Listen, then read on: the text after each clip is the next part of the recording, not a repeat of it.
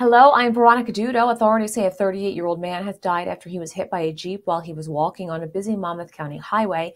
Investigators say the deadly incident happened on State Highway 35 in Ocean Township. The FBI is offering a $5,000 reward for information leading to the arrest of a 46 year old man accused of robbing a bank in Morris County. Officials say the incident occurred in Mountain Lakes. Anyone with information is urged to contact police.